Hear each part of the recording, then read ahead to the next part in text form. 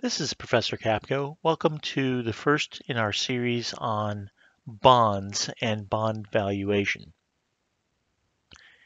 In this first session, we're just going to talk about what a bond is and some general principles about how a bond is valued. In later videos, we'll get into calculating bond values and, and what steps and techniques are used to do that. First of all, what is a bond? Well, a bond is evidence of a debt. It is a representation of ownership of that debt. So if you've got, say, a company that needs to raise money for some project, maybe they want to build a new factory or maybe they want to um, have some new equipment, and they don't want to issue more stock. Stock, of course, would be ownership in the company. And for various reasons, maybe they don't want to issue more stock. Or maybe it's a government entity. They need to raise funds to build a new bridge or a new highway or a sports arena. And they, uh, and a, of course, a government entity does not issue stock. So it's going to issue bonds. Bonds are a way of borrowing money. So I'm going to represent that here. Bonds. Bonds are a way of evidencing who owns that debt. So if you've got maybe a project that you're trying to raise $10 million for, instead of going to one bank, they could issue bonds to investors and pay interest to those investors as a way of inducing them to lend the money to them. And there's a couple terms that you're going to need to know. So the bond oftentimes is in um, $1,000 increments. Not always, but let's use that for our purposes of what we're doing. So that would be known as the face value of the bond or the par value of the bond, $1,000. Now, you could get the bond issued in a physical certificate Sometimes they'll charge you some money to do so. Oftentimes, the bond is just represented electronically, as a lot of uh, securities are nowadays. But let's pretend we have a physical certificate just for the purposes of this. On the face of it, it would tell you that the value, the par value of this bond is $1,000.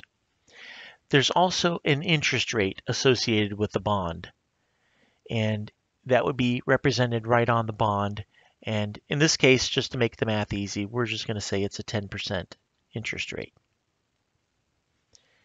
That would be known as the coupon rate. So we have the face value or par value of the bond is the $1,000. And then we have the coupon rate that the, the bond pays. And in this case, I'm using 10%. And the way to induce investors to lend the money to the company or the or in the, some cases a governmental entity in thousand dollar increments is this promise of 10% return. So in other words, over the life of the bond, the investor would receive 10% interest on their money, plus at the end, which is known as the maturity date, they would receive their $1,000 back. So how does this come about? How, do, how does this work? Well, first of all, this 10% interest can be paid in several different ways. Number one, usually it's a stream of payments, maybe once a year, maybe twice a year, maybe quarterly, depending on the type of bond. But all that would be done if this were paid yearly, for example, you would take the $1,000, that's the face value of the bond, and multiply it by the interest rate. Now, because 10% is an interest rate, we would turn it into a decimal by moving the decimal place over 2. So we multiply it by 0.01. So that means that our payments that the investor would receive every year would be $100. They'd receive $100 per year in this simple example. There's a lot more to it than this, but this is just to get you a start. So the investor would invest $1,000 in this case. They would receive 10%, which would be $100 a year. This is once a year they'd receive the payment in this example. And at the maturity of the bond, whatever it is, if it's a 10 year bond, a 15 year bond, a 30 year bond, they would then receive their $1,000 investment back. They would, the entity would pay off the debt. And that would be um, the investor would then have all their money back plus they'd earn interest on that time period. So that's in general how a bond would work. Now, there's a lot involved beyond that. That's just the simple process. Obviously, interest rates change over time. And as you're watching this video, interest rates may or may not be 10% for bonds and those interest rates also are impacted by not only what the market rate is, in other words, what can an investor get with their investment. You know, if they invested in stocks, if they invested in mortgage-backed securities, if they invested in T-bills, or if they invested in certificates of deposit, or if they just put it in a savings account at the bank, those all offer different rates of return.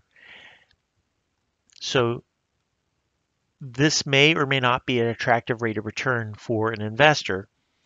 And based upon that, we'll tell you whether or not the bond is going to sell for $1,000 or not. And we're going to talk about that later as to whether that rate of return will change the value of the bond. Another thing that would impact whether or not the 10% is a good indicator of what this bond is, should be paying would be how strong is the backing of this bond? If it is a governmental entity and it's backed by taxpayer funds, well, the chances are pretty good that the investor is going to get all of their money back plus the interest. So, because of that, governmental entities often pay a lower interest rate than maybe a private company. If a private company is a decent company and is solidly backed, it may also pay a lower interest rate on its bonds. If a company is maybe a startup or it is a company that has financial problems, it may have to pay a higher interest rate to induce somebody to invest in that company. So these are all things that would impact that interest rate and the coupon rate that's offered and the value of the bond on the market. Because once this money is invested into the bond, the person who invested in it owns this bond. And as I said, sometimes it's a certificate, sometimes it's just electronically recorded. That investor, in most cases, can sell that bond on the open market. And maybe they make a profit, maybe they take a loss, depending on how much they can sell it for. Seldom does it sell for exactly the face value. So we'll talk in more detail in some later videos about how to calculate what that bond should be selling for in the open market and what kind of calculations investors do to figure out what the bond price should be. As I said, those will be in later videos. If you are interested in um, getting a particular video made, you can put information, you know, put something in the comments uh, and let me know what you would like to have a video made on. And also, if you need a video made sooner and for a specific question, you can sponsor a video. You can reach out to me, and I'm going to put an email address in the description of this video. You can reach out to me by video, I mean by email, and sponsor a video, and uh, I'll make that and, and publish it in short order. So I appreciate your attention. And if you would um, go ahead and smash the like button and subscribe to keep your grade alive. And until next time, this is Professor Capko.